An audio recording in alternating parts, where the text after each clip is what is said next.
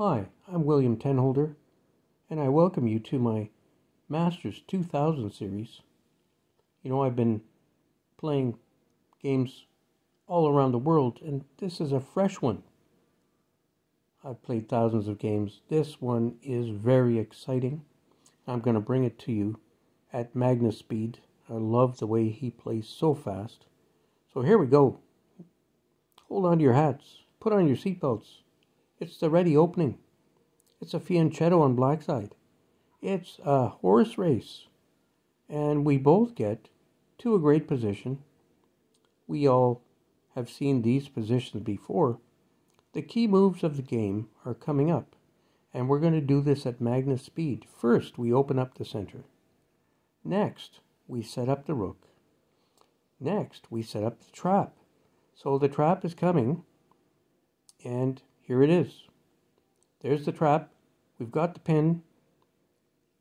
Now that we have the pin, we attack the queen and we win right here on the pin. The queen is under attack, cannot take the knight, and now we take the rook. Beautiful attack. Basically, it's uh, move what 13.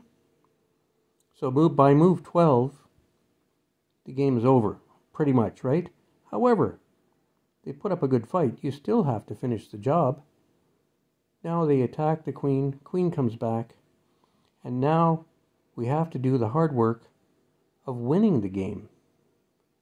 So, you know, we're doing our best. Go in there for check. They still have lots of pieces.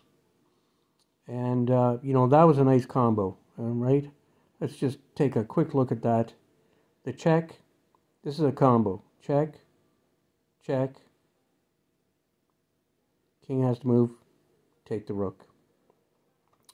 Now, you might you might say most people would resign at this point, but uh, they were, you know, very resilient, and they set up a trap for the queen.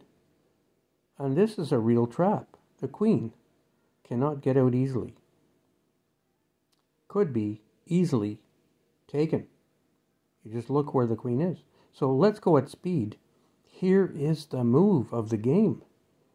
Because if pawn takes bishop, queen gets out of the trap, we're still ahead. However, if knight takes queen, bishop takes queen, and we're still ahead. So it's a beautiful solution to the trap. Queen moves to a position where it can put more pressure on this little trap. They want to trap my queen. They are really, really looking for this trap. Now, the queen is still not out of the trap, but good chances here. Notice the queen does not have many moves. So what do we do here? Check on the king. Yes, beautiful.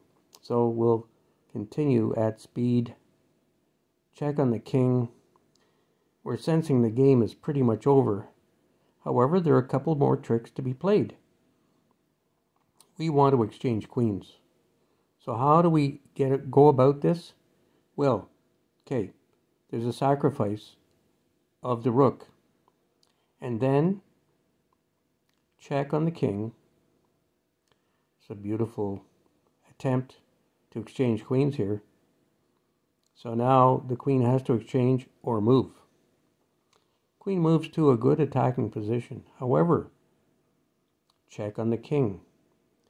We're sensing this should be pretty close to checkmate, but the king has an escape on the A file. So we have to close off that. Check. King cannot escape. Okay. Now we have discovered check.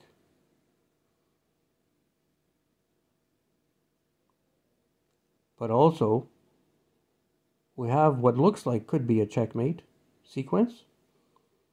But they have the bishop. So that's great. Now we just trade off the bishops. Now we seal off and continue to put pressure on the king position. And well, what we really want here, out of all of this, this sequence, we want this. That wins the game on the spot, right? So again, at Magnus speed, we forced the queen trade. That is it. Uh, they did not surrender.